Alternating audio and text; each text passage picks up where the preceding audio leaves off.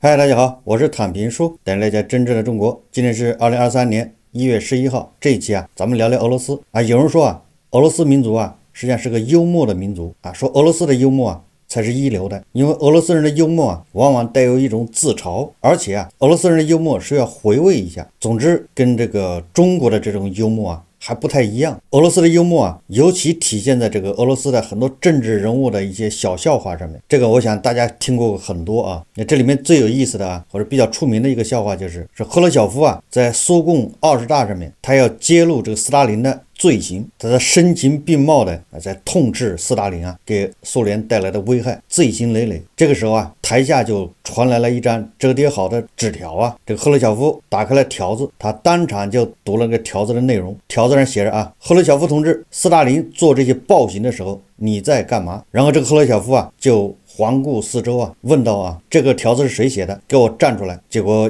台下鸦雀无声。然后赫鲁晓夫啊，连问了三遍。然后这个时候，赫鲁晓夫啊，笑着说啊，当时我也不敢站出来。还有普通人之间的这种幽默啊，是吧？两个犯人啊，在牢房里交谈呢，互相诉苦。一个说啊，就你被判了七年徒刑，但你不担心你老婆在这七年里面改嫁吗？你老婆要把你甩了，跟别人跑了怎么办？另外一个罪犯说啊，你怎么有这么愚蠢的想法？你显然一点都不了。了解我老婆，他说啊，第一个，我老婆是个规规矩矩的好女人；第二个，她特别爱我；第三一点，她被判了九年啊。为什么要聊这个俄罗斯笑话呢？俄罗斯的幽默，大家看下面的这个视频啊。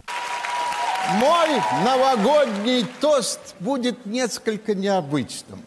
В уходящем году Запад пытался развалить Россию, даже не подумав о том, что в строении мира – Россия – это несущая конструкция.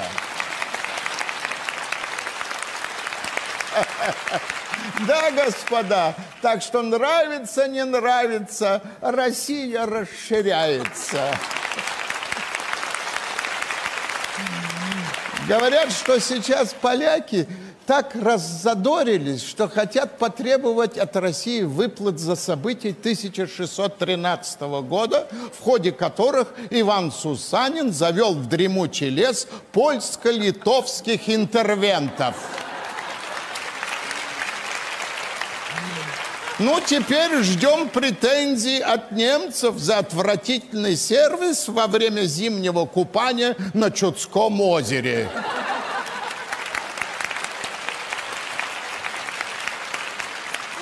Случай в лондонском зоопарке. У вольера с земноводными рептилиями стоял мужчина, попивая пивко. И вдруг в вольер с крокодилом падает маленькая девочка.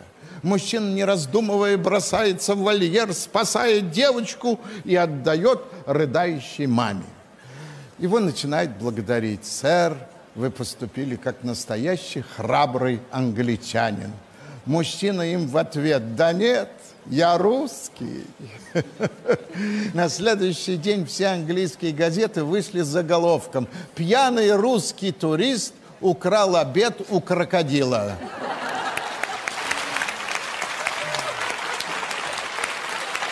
Вот как бывает. А знаете ли вы, без чего невозможно приготовить украинский борщ, французский луковый суп и немецкие сосиски? Без российского газа!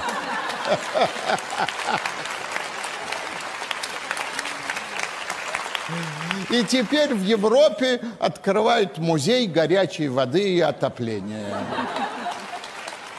Представляете, какой ужас. Приезжает Байден на саммит НАТО в Европу, а там сидят Шольц и Макрон и в карты играют. На рубли.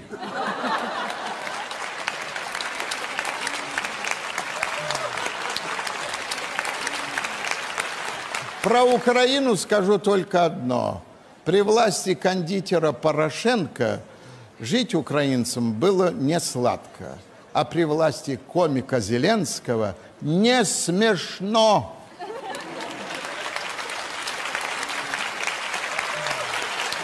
Одним словом, если ты поел, помылся, дома у тебя тепло, значит, русским ты родился. Со страною повезло. Желаю всем россиянам и тем, кто на фронте, и тем, кто в тылу, радостных побед и здоровья в новом году. Михаил Илларионович Кутузов говорил, непобедимо воинство русское в боях и неподражаемо в великодушии и добродетелях по отношению к мирному населению побежденных. Я прочитал и ахнул. Так это же про наших ребят тоже.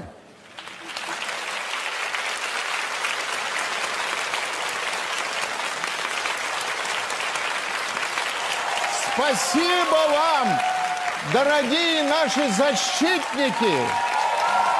Вся Россия с вами! Мы пьем за то, чтобы в новом году вы вернулись домой целыми и невредимыми, а главное, славными победителями. С Новым годом, Россия!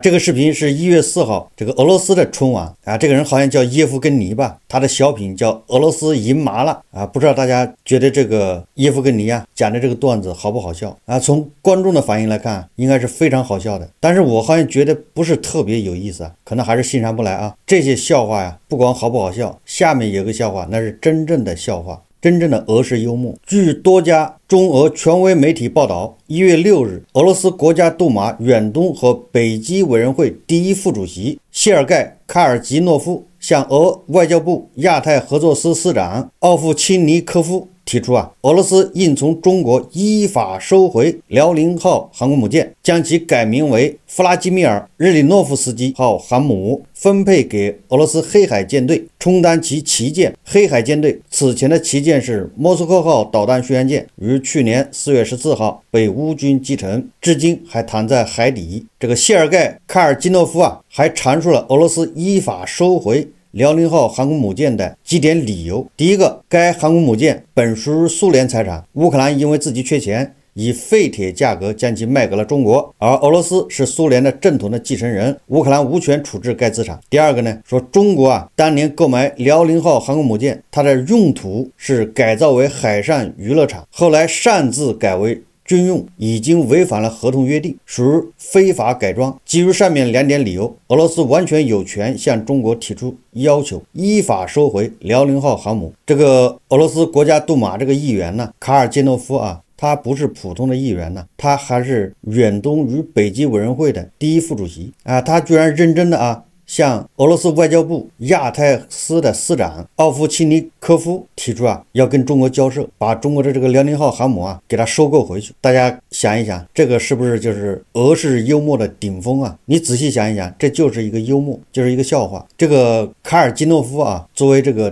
第一副主席，他不可能不懂得这中间的利害关系，什么法律关系、财产的权属关系，以及现在的什么市场形势和这个国际形势。那他为什么要求收？回这个辽宁号呢，实际上他就是在讲一个笑话，这就是叫自黑啊，自嘲。为什么说它是叫笑话或者叫自嘲呢？因为很多事情是明摆着无法实现的。俄罗斯海军目前是什么个现状？大家可能也清楚。俄罗斯现在唯一的一艘航空母舰，实际上就是辽宁号的姐妹舰，叫库兹涅佐夫号航母。这个辽宁号航母的前身啊，它叫瓦良格号。这个瓦良格号和库兹涅佐夫号都是在前苏联。现在叫乌克兰的黑海造船厂，实际上就是叫尼古拉耶夫造船厂，应该是在那一个地方建造。那个尼古拉耶夫造船厂现在估计已经被俄军啊导弹炸着。不成样子了。作为俄罗斯海军的唯一的一艘航母啊，库兹涅佐夫号，它已经于二零一七年呢就正式半退休了，并退。为什么说叫并退呢？它的这个动力系统啊，据说已经没有办法修复。它只要一开出来啊，就是浓浓的黑烟。哎，不要说敌舰啊会把它击沉，就是这些环保组织这些人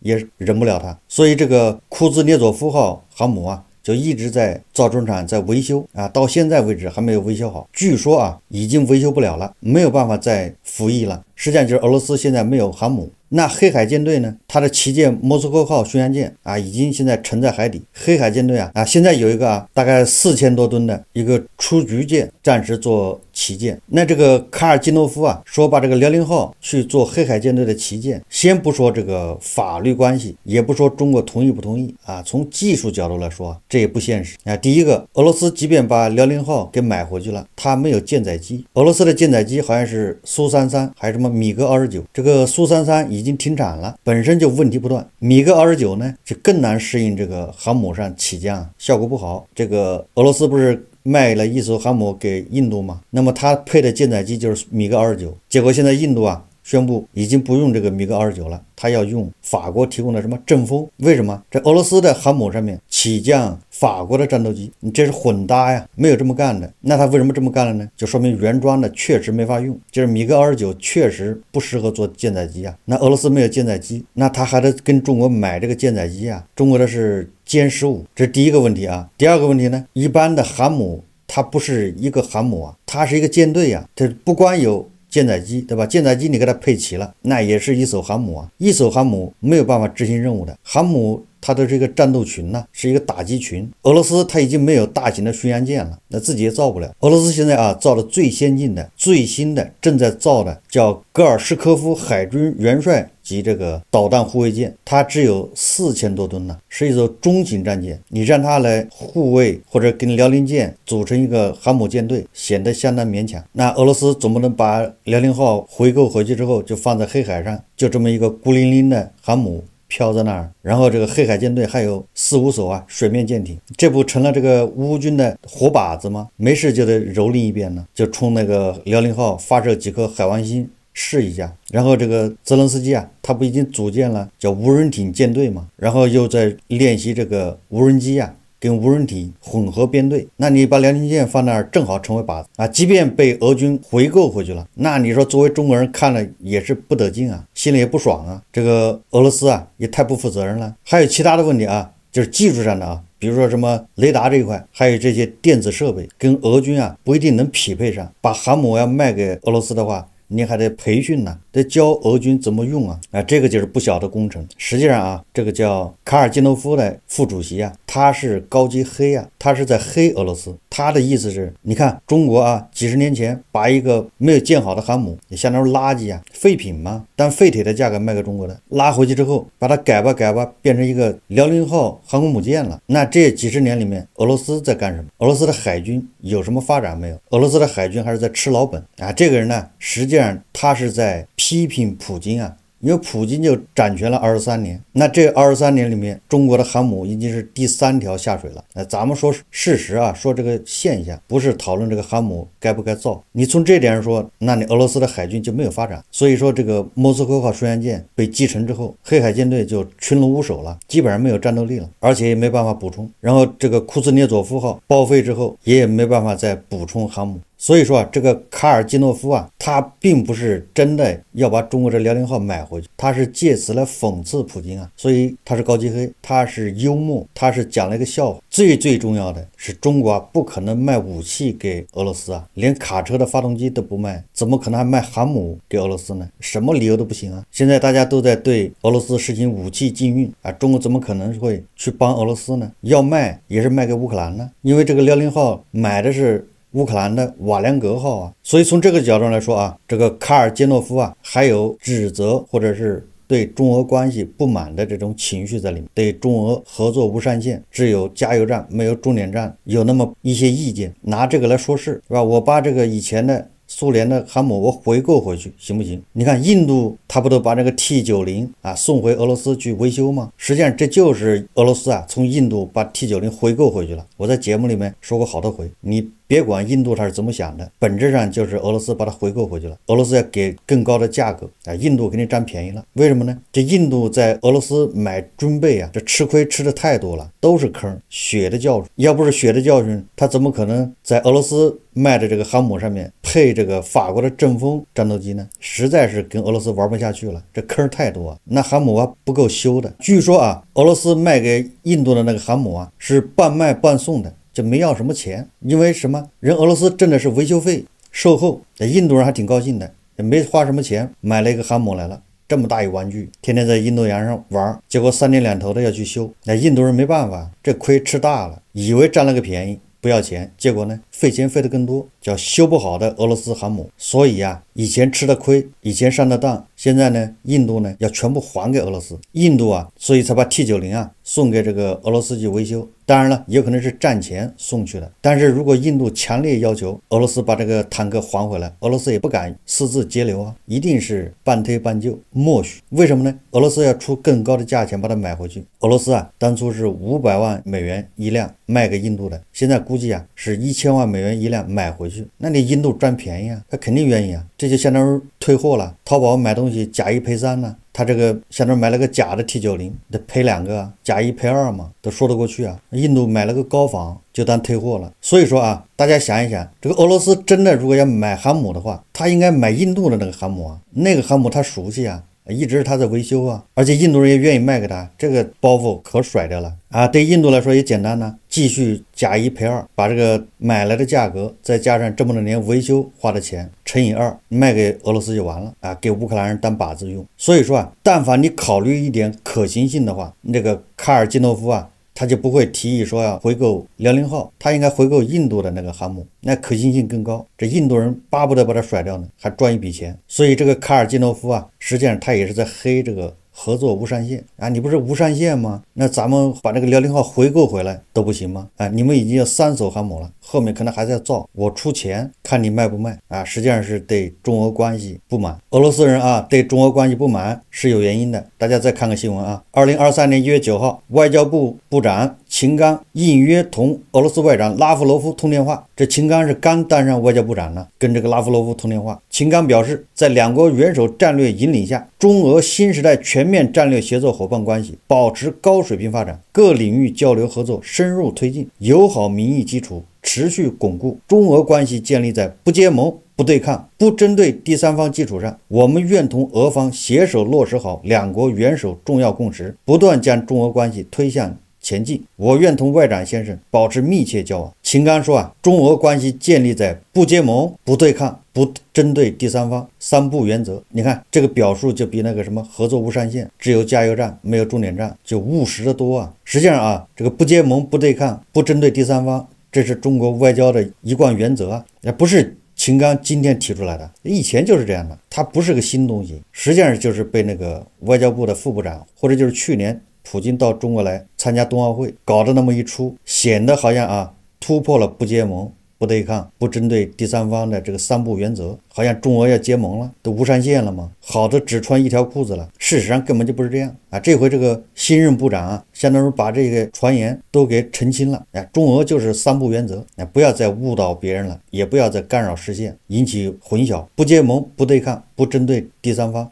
所以那些黄俄啊，指望着中俄结盟来对付美国，这就是痴心妄想啊！外交部部长都说了，不针对第三方啊，中美是中美，中俄是中俄，不可能说中俄之间联手跟美国对抗，没这一回事啊！这老粉丝都知道啊，我这个做节目以来，从始至今都是这个态度。实际上，这也是中国政府一直坚持的这么一个态度，只是中间宣传啊出问题了。当然了，这里面也有被普京骗的成分在里面。最近这个《金融时报》在密集的爆料啊，他这个独家文章啊，不是空穴来风。他说了，引述中国官员和政府顾问。那大家想一想，为什么这个时候这个《金融时报》他能采访到中国的这些官员呢？中国的这个外交制度和这个叫宣传制度，不是你当官的想采访就能采访的，都是要报备的。那你换个角度来说啊，这些所谓的啊政府顾问，什么匿名的中国官员。他实际上是奉旨放风啊！为什么主动的找西方媒体把这些内幕披露出来呢？实际上也是想消除外界的误会。大家想一想，是不是这么回事？美国不老这么干吗？那个什么《华尔街日报》、什么 BBC，动不动就是引述五角大楼什么官员或者匿名官员，实际上就是政府故意通过这些媒体放风嘛。无非就是说这个料给谁？哎，你要给 CCTV 放出来，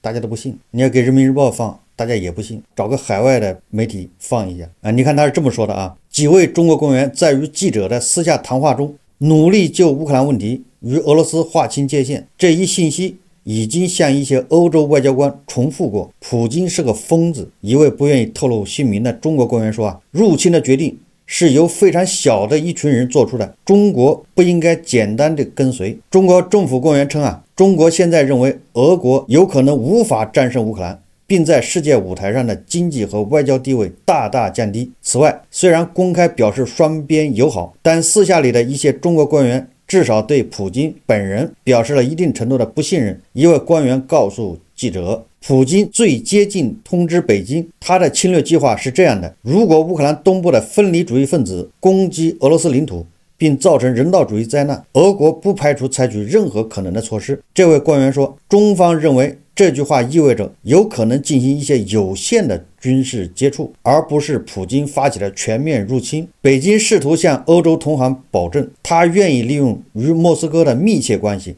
来约束普京。使其不要诉之如使用核武器。中国官员说啊，北京战略的另一个方面是，不仅将自己定位为潜在的和平缔造者，而且自愿帮助重建乌克兰。这个《金融时报》报道的这些，和我平常在俄罗斯侵略乌克兰这个节目里面分析的基本上是一致的。我也没有什么消息啊，我也是通过媒体，通过这些蛛丝马迹分析得到的。哎，老粉丝都知道啊，我经常调侃乌克兰的重建费用是五万亿美金，有很多人说开玩笑。有很多人质疑，实际上这就是幽默啊！而且我说了，这个重建就要交给中国人来干，老粉丝都知道。你看，北京的官员说啊，不仅将自己定位为潜在的和平。缔造者，而且自愿帮助重建乌克兰啊，所以说啊，那些大桥该炸就炸，不要心疼，打烂一个旧世界，到时候创造一个新世界，给中国人呢三年时间就还给世界一个崭新的乌克兰。但是你得让俄罗斯赔五万亿啊！中国的建筑业这个产能已经过剩了，冗余啊，因为中国已经没有什么地方好建设了，修桥修路，你不能再修跨海大桥啊！你看那个贵州山区的那个大桥，那个隧道。那很多都是奇迹啊，就是你没有地方再修了，你再修都不赚钱，纯粹是浪费。但是你这个修桥的人、